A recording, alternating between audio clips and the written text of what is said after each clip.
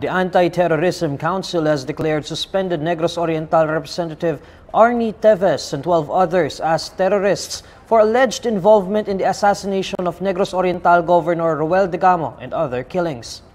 In Resolution Number 63, dated July 26, the ATC marks Teves as the leader and mastermind of the alleged terrorist group behind Degamo's murder and other political killings in Negros Oriental.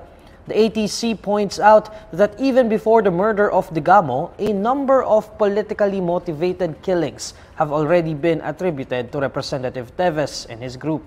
The resolution likewise labels Teves' brother, former Negros Oriental Governor Pride Henry Teves, as a terrorist.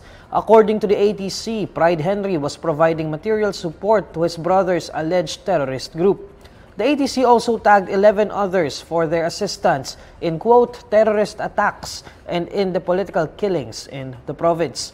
Meanwhile, the camp of Representative Teves says the terrorist tag came as no surprise and that it was a mere weaponization of the Anti-Terror Act. Topacio says the move marks a sad day for the rule of law in the country claiming that it should serve as a reminder that the public, to the public that no one is safe against the government should they be targeted. For his part, Pride Henry said in a television interview that he will look into appealing the terrorist tag, claiming he is a law-abiding person.